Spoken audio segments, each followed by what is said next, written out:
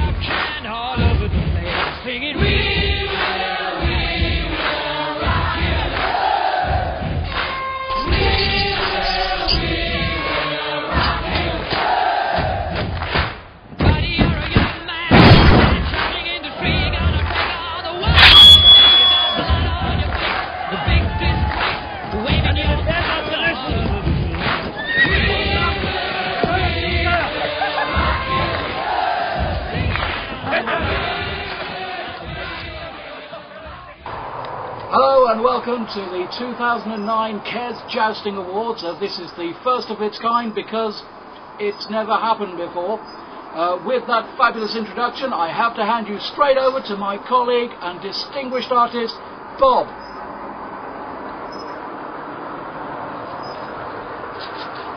Uh, thanks there, Bob, uh, for that very insightful um, insight.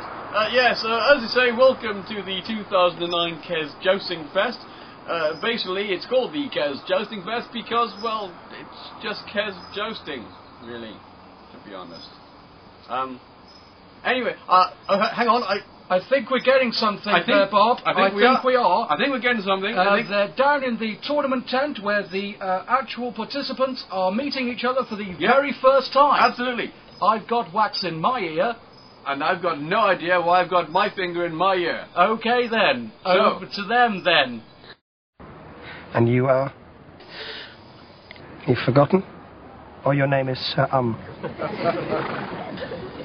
I'm not gay because I might end up having to shag a full woman when he comes back. Sorry, her. Oh, I'd forget as well. What a mouthful. And I said then, I said, I'm not going to actually put that joust anywhere near there. oh, we're back. Well, that seemed to be a very, very interesting interview there. I think both responded responded quite well. And, uh, well, yes, it was. It's, it's all there. It's very excited. I'm very excited. But I don't think I'm as excited as my colleague Bob, who's, well, very excitable. You can take your hands away, Bob. Why not? Just give me the mic. Okay then.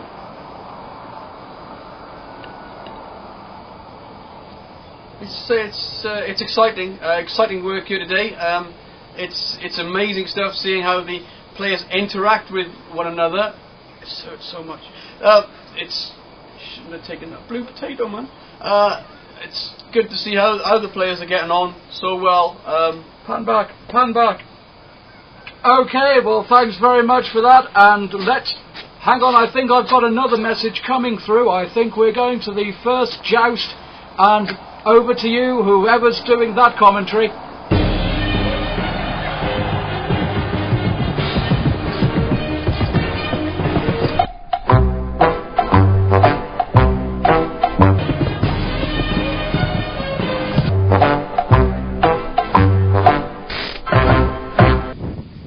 So, how exciting was that? I have to say, I was on the edge of my seat. I was on the edge of your seat, actually. Were you? Yeah. Fabulous.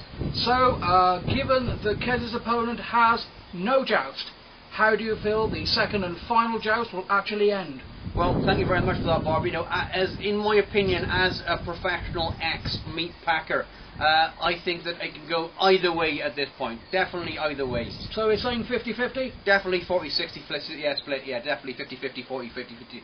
It's something around there. I'll take those odds. over to the jousting event for the second and final joust. Kes, over to you. One, two, three, four. I declare a thumb war. Have ah!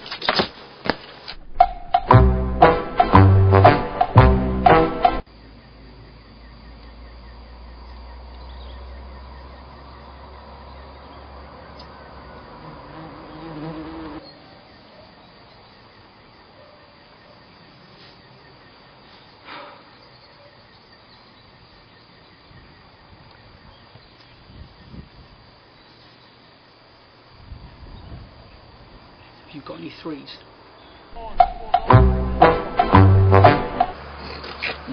No, no, such a right. Mm. It's a track and pony.